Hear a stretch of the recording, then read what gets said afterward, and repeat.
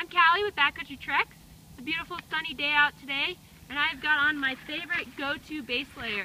This is made by Terramar. It's their Hot Toddies Kashmir V-neck women's base layer.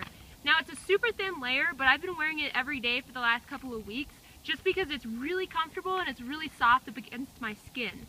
Now, this is a size medium. I usually wear between a size medium and large, and this actually fits me really well. It's nice and form-fitting and tight, which for all you men out there, this may be a great gift for your girlfriend if you like her wearing tight clothes.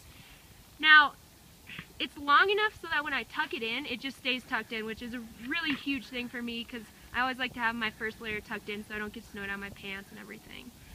Like I said, it's a pretty thin layer, so I just bundle up if it's cold out, but it's a, it's a great all-around weather layer. Now it has Terramar's uh, flat stitching, which is really beneficial because you can't ever feel it. I mean, this one's pretty thin and comfortable to begin with, but the stitching sometimes will rub if you have a thicker stitching on, and this does not do that, especially when I have layers on top of it, so that's really nice. It's got the v-neck, which I really love. Um, I have kind of come to not liking to wear things that come up to my neck and collar because it just gets really uncomfortable with my jacket and all my layers. So this one's nice, stays out of your way. Like I said, it's super soft, very comfortable. This has the Terramar flat stitching, which is really beneficial for when you're layering up. You're not going to get any rubs or problems with that stitching on your skin. So that's really nice.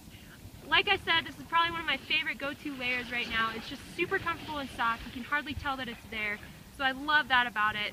Again, this is the Hot Toddies Kashmir HG Top by Terramar. I'm Callie with Backcountry Treks.